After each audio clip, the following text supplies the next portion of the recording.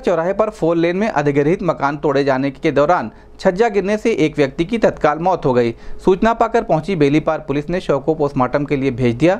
आपको बता दें कि बेलीपार कस्बा निवासी दिनेश विश्वकर्मा की चौराहे पर दो मंजिला मकान है, जिसको फोर लेन के निर्माण में अधिग्रहित हो जाने पर तोड़ा जा रहा था।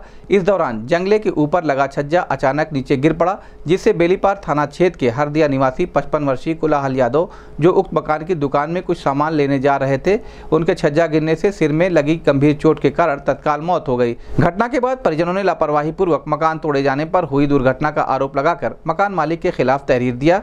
आपको बताते चलें कि हरदिया निवासी कोलाहल यादव सपरिवार असम में रहते हैं। 17 अप्रैल को उनके दूसरे पुत्र राजेश की शादी होनी थी। शादी की तैयारियों के लिए दो दिन पूर्व ही वो पत्नी के साथ गाँव आए थे।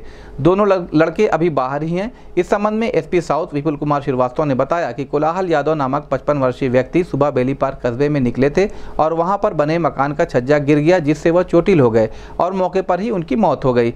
इस संबंध में परिजनों की तरफ़ से तहरीर दी गई है। मुकदमा दर्ज करने की कार्रवाई की जा रही है। इस संबंध में गोरखपुर न्यूज़ संवाददाता से बात करते हुए एसपी साउथ विपिल कुमार श्रीवास्तव ने कहा।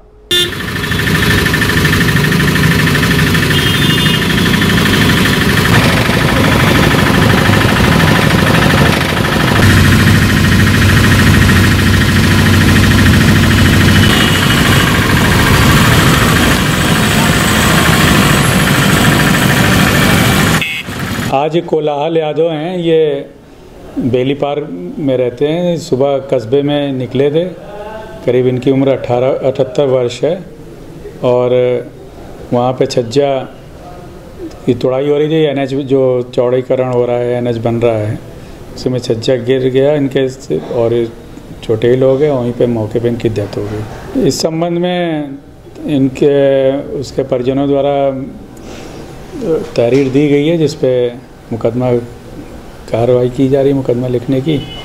पीएम और की कार्रवाई की जा रही है। थानाध्यक्ष को बताया गया है कि जो ऐसे जहाँ तोड़फोड़ होती है, वो पहले से एक जनरल रूप से सबको बता दें इस चीज़ की कि अगर तोड़फोड़ हो तो वहाँ एक प्रिकॉशनरी वो रखा जाए। एक क्षेत्र कम से कम छज्जा गिरेगा या कोई भी बिल्डिंग टूट रही है तो उसका कवरेज एरिया कितना होगा?